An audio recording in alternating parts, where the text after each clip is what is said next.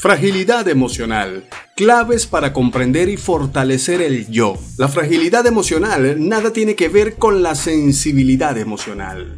Mientras que a esta última la podríamos definir como una cualidad excepcional del ser humano, la fragilidad responde sobre todo a una falta de herramientas para gestionar nuestros estados internos más complejos, así como una clara dificultad para hacer frente a los problemas más comunes del día a día. Aclaramos en primer lugar la diferencia entre estos dos términos por un hecho importante. A menudo hay quien llega a normalizar su fragilidad emocional excusándose en que esa es su forma de ser, su modo de entender y vivir la vida. Soy una persona sensible y no puedo cambiarlo, suelen decir a modo de autodefensa.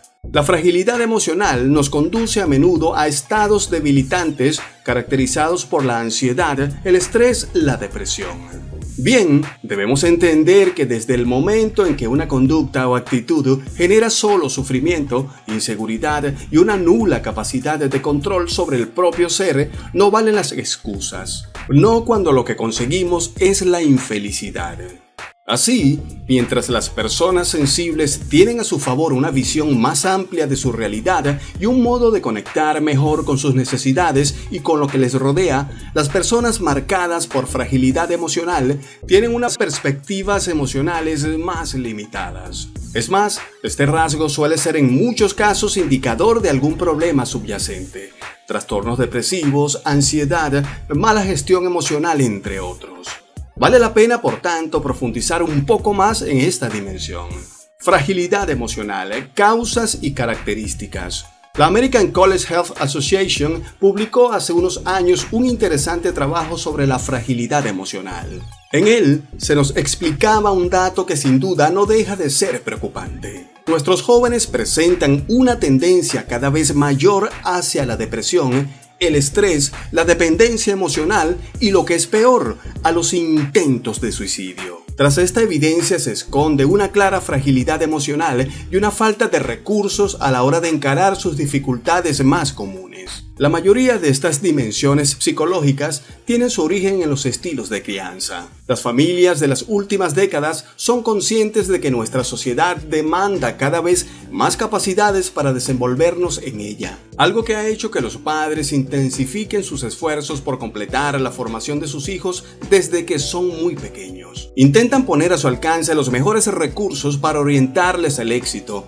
obligándoles a veces a sobresalir y recordándoles a menudo lo especiales que son o están obligados a ser para triunfar. Todo ello es sin duda comprensible, sin embargo, este enfoque ignora varios detalles. Uno de los más importantes es que se les protege frente al fracaso, de tal forma que muchos de ellos son incapaces de tolerar la frustración, por pequeña que sea. Además, estos niños difícilmente aprenden a tomar decisiones de manera autónoma, se sienten inseguros y son muy torpes a la hora de gestionar sus propias emociones. Poco a poco se van dando cuenta de que a ojos de los demás no son tan especiales y que carecen de habilidades, recursos y estrategias para poder reaccionar ante cuestiones elementales. Veamos a continuación qué características presentan las personas con fragilidad emocional. ¿Cómo saber si soy una persona frágil emocionalmente?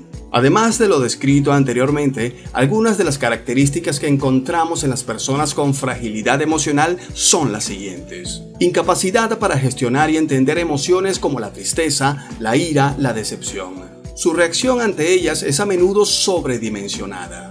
Sensación de vacío continua sensación de agobio ante los problemas más simples, ante los desacuerdos, ante cualquier circunstancia que no es como uno espera o desea.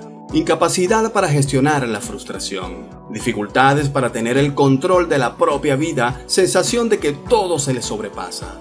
Problemas constantes en sus relaciones sociales, visión de que todos los que les envuelven les decepcionan o les traicionan. Baja energía, apatía, melancolía constante. Se muestran inseguros en casi cualquier tarea, sensación de ineficiencia y baja autoestima. Cuando las cosas no son como ellos esperan, quieren o desean, pueden reaccionar con rabia o violencia.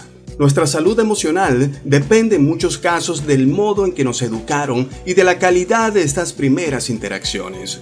Sin embargo, una mala crianza o una educación ineficaz no nos determina. Siempre estamos a tiempo para vencer la fragilidad emocional. Estrategias para fortalecer el yo y alzarnos como personas fuertes emocionalmente. Para entender ese proceso en el cual poder convertirnos en una persona emocionalmente fuerte, podemos visualizar, por ejemplo, una taza de porcelana. Sabemos que es sensible, podemos incluso ver las estrías de alguna rotura ya tratada en su forma.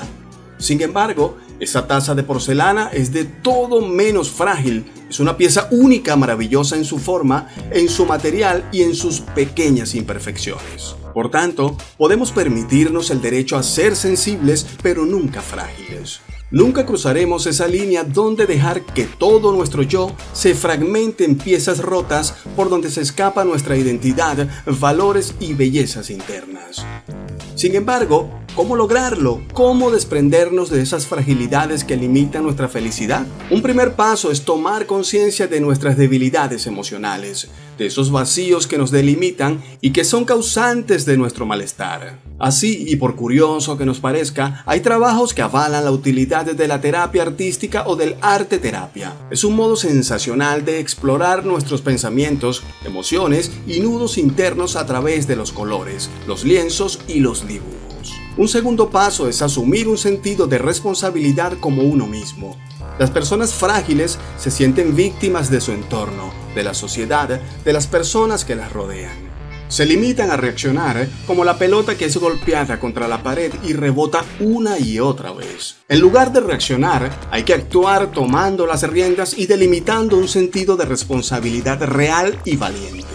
Ese sentido de responsabilidad requiere a su vez dejar a un lado nuestras experiencias del pasado y generar cambios en el presente. Todo cambio se acompaña por una sensación de miedo, pero si logramos sortear esas piedras del camino día a día, nos percibiremos como más seguros, dueños de nosotros mismos. Para concluir, queda claro que este proceso no es sencillo, requiriendo en ocasiones la ayuda de un buen psicólogo. Frente a esta dificultad intrínseca, recordemos que siempre estamos a tiempo de alzarnos como personas más fuertes emocionalmente. Moldeemos nuestra taza de porcelana para hacer de ella una pieza única, fuerte y bella. De